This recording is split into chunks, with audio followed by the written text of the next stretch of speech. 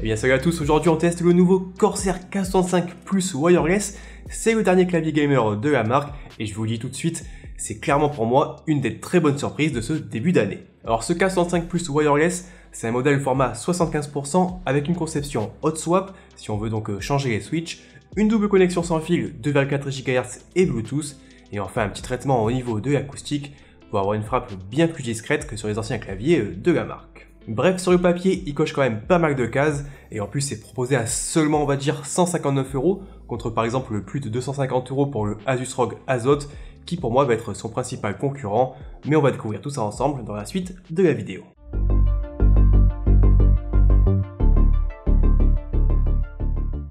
Allez, comme d'habitude, petit tour du côté euh, de l'unboxing. Ici dans la boîte, on va plutôt à l'essentiel, puisqu'on va donc retrouver le clavier K65 Plus Wireless, un câble USB-C vers USB-A pour la connexion filaire ou la recharge sans fil, un dongle USB pour la connexion sans fil 2,4 GHz, et enfin une double pince pour retirer les keycaps et les switches. Alors pour le manuel, il faudra scanner un petit QR code qui est présent dans la boîte, et ici mon seul regret, sera peut-être l'absence d'un repose-poignet.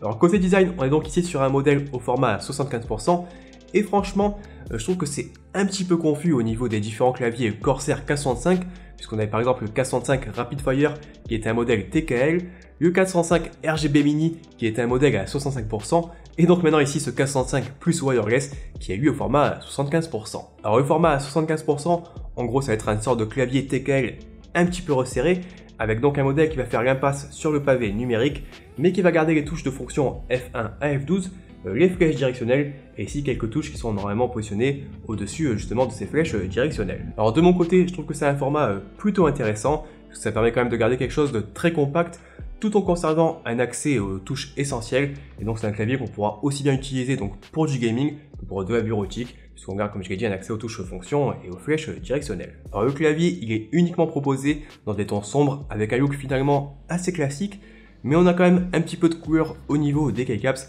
avec des tons gris euh, différents selon les touches. Et visuellement de mon côté, je trouve ça plutôt sympa. Mais dites-moi un peu ce que vous vous en pensez dans les commentaires. Alors on a aussi quand même quelques petits détails sympas, comme par exemple ici une touche euh, Keycaps avec un petit peu un effet chromé euh, qui rend plutôt bien. On a aussi ici un petit effet de dégradé par exemple au niveau de la touche espace. Bref, comme ça, il y a quelques petits détails. mais dans l'ensemble, je trouve que le clavier il reste plutôt sobre et visuellement de mon côté j'aime bien. Alors sinon ici à l'arrière du châssis, on retrouve également des petits motifs triangulaires qui reprennent un peu la charte graphique de la marque. On a aussi euh, quatre patins en caoutchouc qui permettent de bien stabiliser euh, sur son bureau. Et enfin euh, deux pieds qui vont permettre un peu d'ajuster son inclinaison sur deux niveaux différents. Enfin ici sur la tranche supérieure, on va retrouver la connectique et quelques boutons. Donc on a notamment ici un bouton qui permet de switcher entre une station Windows ou Mac. On a ici un bouton pour passer de connexion filaire 2,4 GHz ou connexion Bluetooth. Et ici on a un connecteur USB-C donc pour l'utilisation filière ou la recharge. Et enfin ici on a aussi un petit, euh, un petit encart qui permet de venir ranger le dongle USB et éviter de le perdre si par exemple on se déplace ici euh, avec son clavier.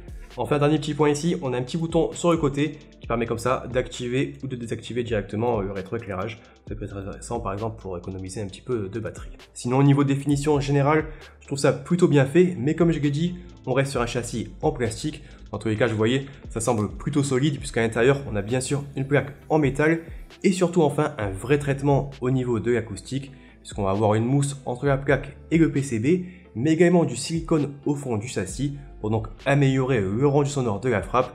Je vous ferai bien sûr une petite démonstration en fin de vidéo. D'ailleurs aussi un petit détail que je trouve sympa et qu'on avait aussi sur le K110 Core que je vous ai présenté il n'y a pas très longtemps, mais on a un petit peu de mousse ici euh, sous la barre espace qui permet encore une fois d'éviter que celle-ci résonne et franchement ça marche plutôt bien. Alors du côté des keycaps, on est sur des modèles en PVT avec un procédé par sublimation pour les légendes. Alors je trouve de mon côté que le rendu il est plutôt réussi et surtout on a des légendes assez sobres qui s'éloignent un peu des polices orientées euh, gaming qu'on pouvait retrouver sur d'anciens claviers de la marque et de mon côté je trouve que c'est plutôt euh, une bonne chose. Alors notez par contre que l'éclairage ici il va pas pouvoir passer à travers ces légendes donc si c'est quelque chose qui vous dérange vous pouvez toujours bah, les remplacer par un kit en PBT et double shot, puisqu'ici c'est compatible avec les tiges MX. Par exemple, vous pouvez en retrouver également directement du côté de chez Corsair. Bon, évidemment, sinon, comme on est sur un clavier au format resserré, il y a pas mal de touches qui vont avoir des actions secondaires qu'on pourra activer en combinaison avec la touche FN. D'ailleurs, notez que si on appuie sur FN, il y a uniquement les touches avec une seconde action qui vont s'éclairer. Et par exemple, on va retrouver des commandes pour gérer sa musique ou son éclairage au niveau des touches F1 à F12, mais aussi des raccourcis pour changer de profil, enregistrer des macros, verrouiller certaines touches ou encore basculer entre différents effets d'éclairage RGB. Alors on a ici, ici sur la droite une molette en métal qui va permettre par défaut d'ajuster le volume sonore, mais en combinaison avec FN plus les flèches on peut faire d'autres actions, comme par exemple ici, euh, ajuster l'intensité de l'éclairage, ajuster le défilement vertical ou horizontal, ou encore zoomer ou dézoomer sa page. Ça, ça peut être intéressant par exemple quand on fait euh, du Photoshop ou des choses comme ça. Bon, maintenant je passe rapidement euh, sur la connectique. Alors ici, ce K105 Plus Wireless, il peut donc fonctionner, comme je l'ai dit, en filaire via USB, mais aussi en sans fil via 2,4 GHz ou Bluetooth. Et en Bluetooth, on pourra connecter jusqu'à 3 périphériques, mais comme souvent, on est limité avec un polling rate de 125 Hz, et donc euh, ça peut rajouter un petit peu de latence. Et le Bluetooth, je le conseille plutôt pour des bureautiques ou des jeux qui ne demandent pas forcément euh, d'excellents réflexes. Pour le mode 2,4 GHz, on a juste à venir connecter le dongle USB sur son PC, sur son Mac ou sur sa console et la connexion s'effectue automatiquement. Dans ce mode-là, vraiment, il n'y a aucune latence à souligner, même en sans fil. Et le clavier, je précise qu'il fonctionne aussi bien sur Xbox que sur PS5. Du côté de l'autonomie, euh, ça pourra vraiment varier en fonction de la connectique utilisée et surtout euh, des éclairages. Donc ici en mode 2,4 GHz, faudra compter entre 20 et 25 heures avec les éclairages, mais vous pouvez par exemple tripler ces valeurs en réduisant ou en désactivant le RGB. Alors côté logiciel maintenant, c'est bien sûr compatible avec Corsair IQ, alors ici c'est plutôt euh, du classique et je vais pas forcément y passer deux heures. On commence un peu à avoir l'habitude. Et donc on peut créer différents profils et pour chaque profil, on pourra par exemple modifier le mapping des boutons avec des actions ou des macros. On peut aussi ajuster les effets d'éclairage, verrouiller certaines touches ou encore activer certaines commandes ou pas au niveau de la molette. Alors juste ici justement concernant cette molette, je trouve que c'est un petit peu dommage qu'on puisse pas directement y attribuer les actions de son choix, puisque là on est limité aux propositions de Corsair, et je trouve que c'est pas forcément les plus intéressantes de mon point de vue. Bon, on a vu le design, la connectique et le logiciel, place maintenant au switch et aux performances de ce Corsair K105 Plus wireless. Alors ici on va retrouver des switches mécaniques qu'on avait déjà croisés sur le récent Corsair K110 version Core, et de mon côté j'avais trouvé vraiment très réussi, c'est donc les Corsair MXL version Red.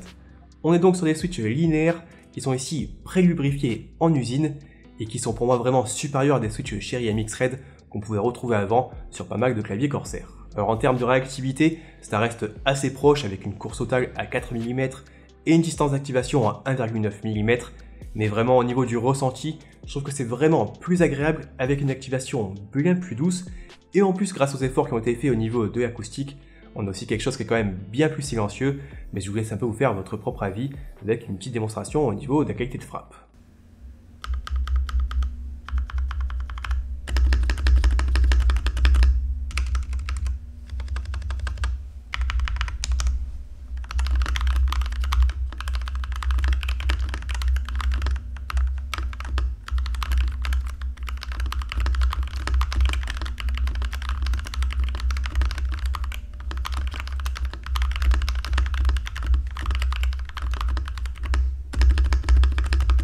N'hésitez pas un peu à me dire ce que vous vous en pensez en commentaire.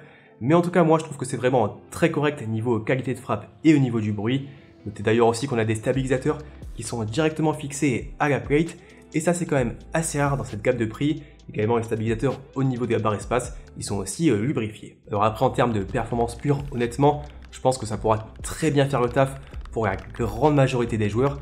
Même si évidemment ici, on ne retrouve pas forcément la personnalisation qu'on pourra avoir avec des switches analogiques, comme par exemple un Wooting 60HE, et la gamme Razer Huntsman V3, ou même chez Corsair par exemple, le K70 version max, que je vous ai testé il y a quelques mois. Alors ici bien sûr, comme on reste sur des switches mécaniques, on ne peut pas forcément donc ajuster la distance d'activation, ni profiter par exemple du mode Rapid Trigger, mais franchement ça reste quand même très performant, et à moins d'être vraiment un gros tryharder sur du FPS compétitif, je pense que vous n'avez pas forcément tous besoin de ce genre d'option. Enfin, le dernier point à souligner concernant ce K65 plus wireless, c'est qu'on est sur un modèle avec un PCB en hot swap, c'est-à-dire qu'on peut venir ici retirer et remplacer les switches du clavier à la pince qui est fournie directement dans la boîte. On ne pourra pas forcément les remplacer par des switches analogiques, mais si demain par exemple vous préférez euh, des interrupteurs mécaniques tactiles ou à clic sur ce K105 ben, vous pourrez le faire euh, sans problème. Bref, du coup, je pense que j'ai un peu fait le tour ici de ce Corsair K105 Plus wireless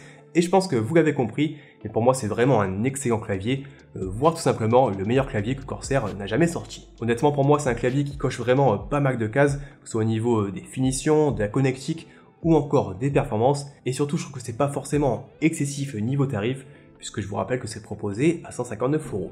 Alors oui, 159 euros, c'est pas forcément donné non plus, mais on reste sur un modèle en sans fil avec un PCB en swap, des switches mécaniques pré-lubrifiés. Bref, vraiment, c'est un très bon rapport qualité-prix face à la concurrence. Et de mon côté, j'aurais aucun problème à le recommander si c'est un modèle qui peut répondre à vos attentes. En tout cas, s'il vous intéresse, je vous rajoute un petit lien Amazon en description. Donc n'hésitez pas à l'utiliser, ça permet un peu de soutenir la chaîne. Et bien sûr, si vous avez encore des questions, direction euh, les commentaires. Moi de mon côté, je vous remercie d'avoir regardé la vidéo et je vous dis à la prochaine. Allez, ciao